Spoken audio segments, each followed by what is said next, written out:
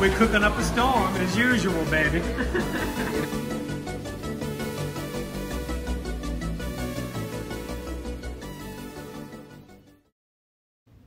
This is Nancy Sebastian with eXp Realty Coastal Branch. Today we're going to talk about pricing, pricing your home to sell. Don't chase the market, let the market chase you.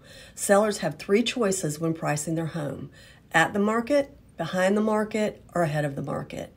As the number of closed units declined 25% year to date in 2022, the market cools and pricing based on the expectation that prices are going up at the rate they were becoming pricing behind the market.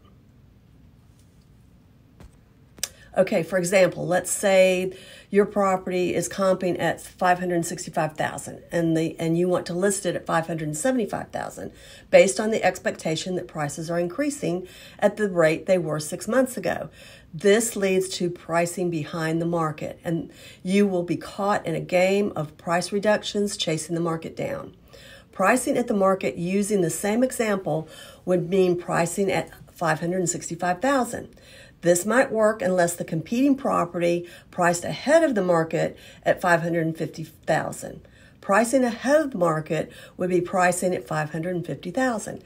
And now the market is chasing you. This is Nancy Sebastian with eXp Realty Coastal Branch. Reach out to me and I will be happy to talk to you about how to price your home to sell. Have a great day.